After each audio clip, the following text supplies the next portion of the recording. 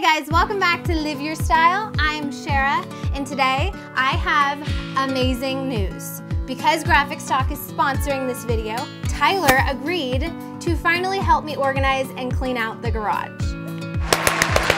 Remember the last video I posted when I was like, hey babe, you wanna help me clean the garage? And he was like, hey babe, you wanna get it sponsored and then I'll do it? I kind of want to do a garage video, not because a lot of people probably want to watch that, but just because I really need to organize our garage. Get it sponsored! Well, GraphicStock came through and they are amazing.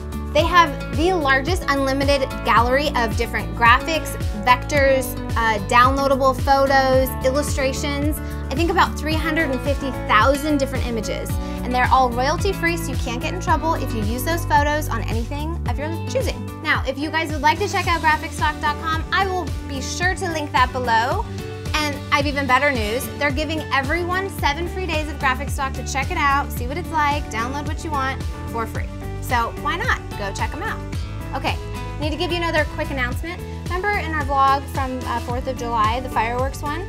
Well, we had an amazing view of fireworks because our neighbors tore their house down, uh, which, huge plus side, we got to see fireworks from our bed. It was pretty cool. The giant downside is there's a lot of construction next door and it's very loud. So if you hear a lot of hammering or a lot of metal clashing or maybe a saw going off, just know it's the cool neighbors next door who tore their house down who gave us a great view for 4th of July. Now let's get into this garage video. Ready?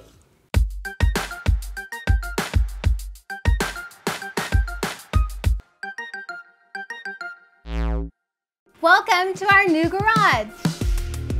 I'm not gonna try to lie to you and tell you that this was not a big project because this was a very big project. In fact, it was a twofer. It was a two-day extravaganza of absolute cleaning and organizing and just nerding out on getting this place in tip-top shape. And it was kind of fun, I have to say. But it was a lot of work, so just, you know, just so you know. So we wanna give you guys 12 amazing tips that we learned on how to organize, clean out, and efficiently be able to live and work in your garage because that's really, really important, or at least know where things are in your garage. So grab your phone or your tablet or whatever you're watching this on, hopefully something that's movable, go to your garage and do this with me, or at least go stand in your garage and look around and maybe you can like, I don't know, get some inspiration to get started. So first things first, we took everything out of this garage. This is probably the most intimidating step, just getting started because you stare at all your stuff and you just get really easily overwhelmed. But just know, there is a light at the end of the tunnel.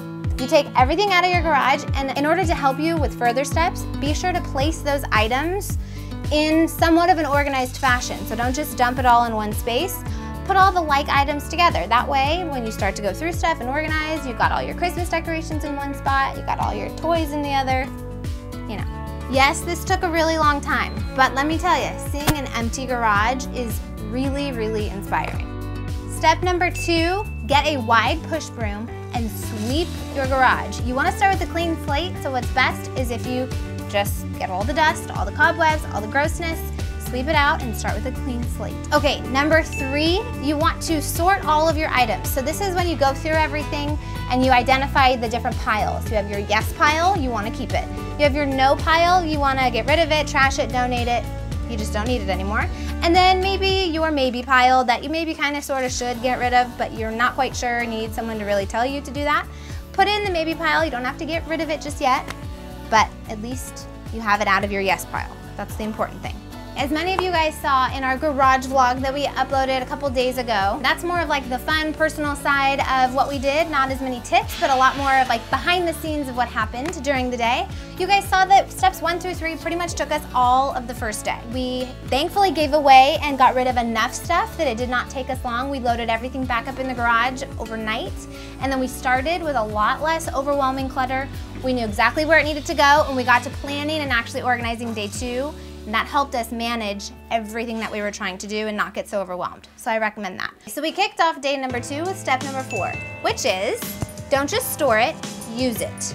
So I have a couple different old pieces of furniture that I did not want to get rid of that I've just been storing, but instead of just stacking those old pieces of furniture, we use them as organizational aids. Not only does this save you money, but it actually saves you space and helps you prolong some of these nice furniture pieces to use in your home when you move into a bigger spot which is what we're planning on doing. Thank you for the chainsaw, sir. Step number five, make a floor plan and actually plan out the space before you bring everything back in. This is important to sit down and identify what your goals are for the space. If you wanna park a car in the garage, it's gonna change things for you. For us, we kind of identified three different stations. We have our workstation, we have our easily accessible station, and then we have our storage station, things that we don't really need access to all the time, put it in the back. Side note, this work table, workbench, was up against the wall. I had no idea it was here until we took everything out of our garage and I was like, what is that, a ping pong table? No, it's a work table, a workbench. How awesome is that? So you'll be seeing a lot more videos from this space. Number six, consolidate like items when you go to put them back. So when you're putting them in a organizational aid of some sort, make sure you put things that go together together. So if you're bringing cleaning supplies, put your paper towels there. If you're doing your tools, put all of your tools together in one area. That way when you come back to use the space, you think, oh, where are the scissors? Oh, they're in the tool section. If you put them just in random places, you're never gonna remember where stuff is. For me, a really important thing is all my DIY supplies, all my craft tools, all of that is in one unit. I didn't spread it around, I kept it together. Number seven. You totally moved from your mark. All the way out here? Am I in focus? It's like when I do dishes, you always ask me if I use soap. When we're filming, is it in focus? Sometimes it's not, and sometimes you don't use soap. I hate to tell the world that, but he doesn't. I use soap, it's just... Oh, some... you don't? You want me to put new soap on it every time?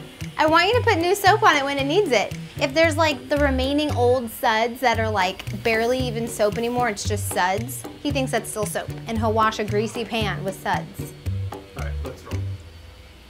You brought it up. Number seven, use the walls. So in a space that's small, I always say no matter what room it is, use your walls. Over here, we decided to put up three shelves. Tyler did these himself. So proud.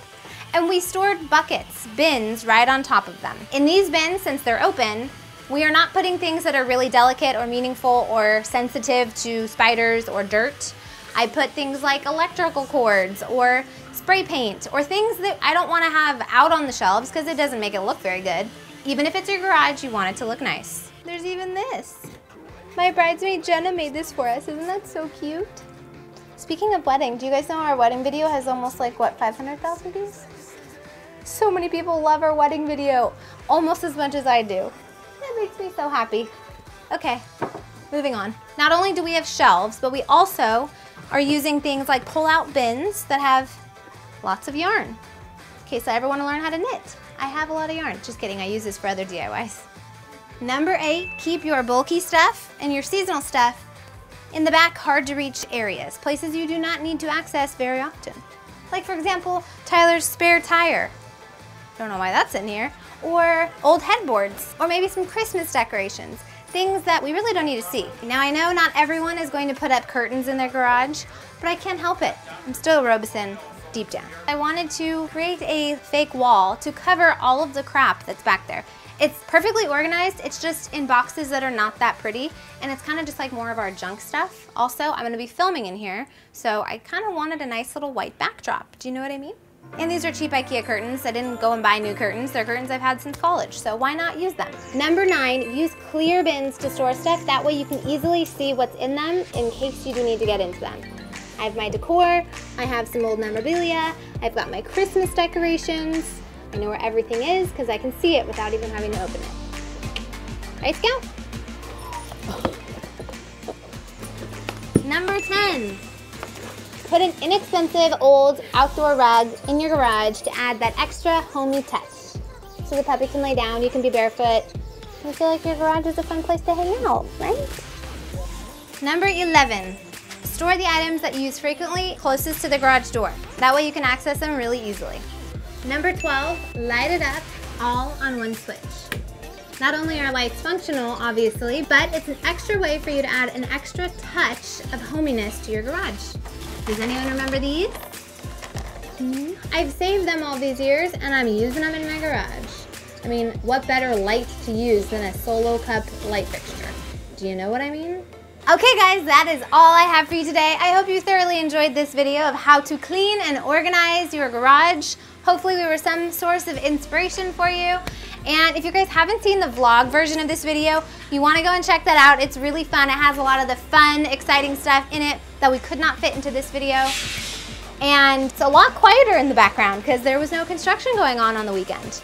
Anyway, thank you guys so much for watching. I can't wait to show you guys a bunch of new DIYs I'm working on in this lovely, comfortable, beautiful, organized space. If you haven't subscribed, be sure to hit that subscribe button thumbs up the video, leave your comments below and tell me some spaces you'd love to see me give some inspiration for and maybe I will film that video in a couple of weeks or a couple of days. Keep on watching the vlogs. We're so happy and excited to be making them. I hope you guys are enjoying seeing that part of our lives as well. So I'll see you next time.